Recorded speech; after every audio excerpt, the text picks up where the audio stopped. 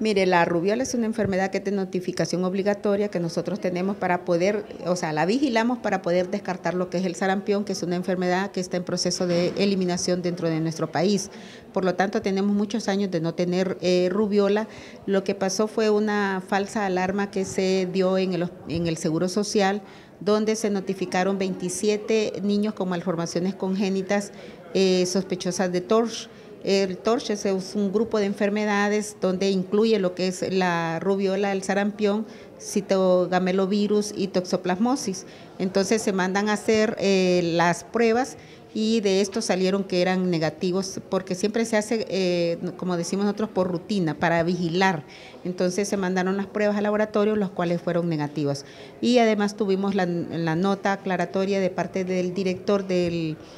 Centro de, de Especialidades del Seguro Social, el doctor donde nos manifiesta que fue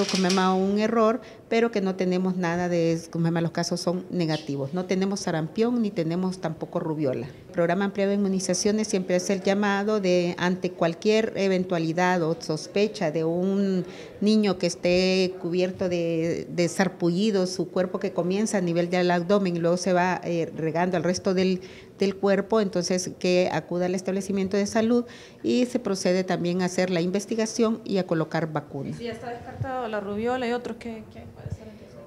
eh, puede ser inclusive cualquier otra enfermedad que se provoca, sobre todo cuando la persona ha tenido eh, fiebres, fiebres arriba de 39 grados centígrados, en la piel eh, eh